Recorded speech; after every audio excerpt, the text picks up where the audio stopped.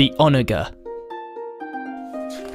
The Onager was a type of Roman catapult developed sometime in 353 AD. Named after the kicking action the machine made when firing, the Onager would prove to be one of the most useful and effective siege weapons deployed by the Roman military.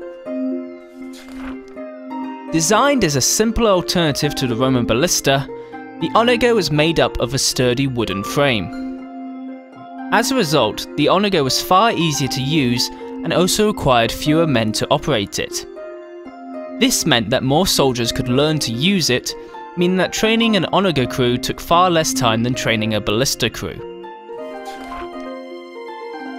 An Onager is often portrayed as having a bucket to hold the projectile in. However, it is more likely that the Onager utilised a sling rather than a bucket, as the range of the projectile launched from a sling is far greater than the range from a bucket.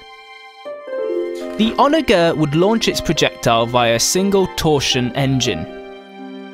This engine deprived its power from a load of twisted ropes. These ropes needed to be strong and elastic, and as a result were often made from hair. The catapult arm was then wound down and the tension in the engine would then increase, thus when let loose, the catapult arm would fling back at rapid speed. The catapult arm would then hit a padded frame, stopping the catapult arm, but transferring the energy into the projectile, which was then sent flying through the air.